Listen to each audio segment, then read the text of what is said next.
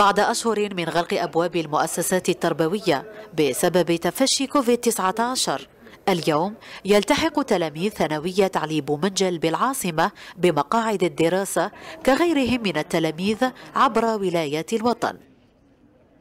ما درناش درنا بحيث عندنا 30 فوج.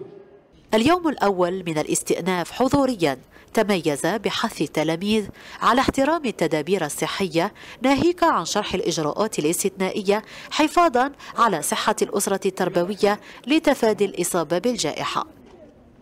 أولا المؤسسات تفتح بوقت كافي حوالي سبعة ونص.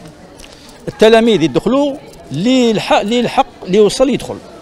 ما راحش يتجمعوا معناتها في باب الثانوية. بطبيعة الحال التلاميذ ما همش موالفين وبالتالي خدينا الوقت الكافي باش يعرفوا المكان ديالهم في الرواق كيفاش يدخلوا كيفاش يخرجوا. ما لازمش يمشوا كما قال مثنى مثنى ولكن واحد مر واحد. نعتبر هذا الموسم الدراسي هو تحدي بالنسبة لنا وبالنسبة للتلاميذ ويجب كسب التحدي في ظل هذه الظروف عن طريق أخذ الحيطة والحذر من طرف التلاميذ ومن طرفنا نحن والتزام بكل التدابير الوقائية تكوين أفواج من 24 تلميذا وضمان تناوب الدراسة يوميا بين الفترتين الصباحية والمسائية من بين أهم الإجراءات المتخذة لضمان ظروف تعليمية آمنة.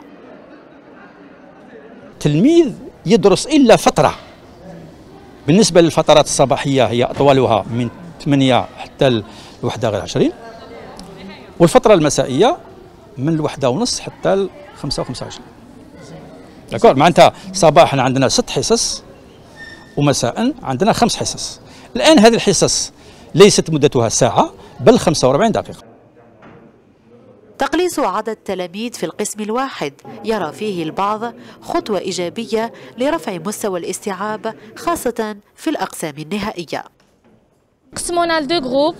أه، إحنا ديجا لازم ناخذ الاحتياطات تاعنا ومام حنا تساعدنا القرايه ما نكونوا أه، كيكونوا شوية نفهموا بزاف ايتو عطانا دي انستركسيون جيسبر كو كاملين يفون لي ريسبكتي سورتو كو هاد العام قلت لك شوية سبيسيال باش أنا تيرمينال الوغ هاد الباك ماشي كيما كامل لي باك فوالا عطانا سمعناهم وان شاء الله ان شاء الله فيها خير أزيد من أربعة ملايين تلميذ في الطورين المتوسط والثانوي يلتحقون بمقاعد الدراسة وفق بروتوكول صحي. الالتزام به قدر المستطاع كفيل بوضع حد بتفشي الفيروس.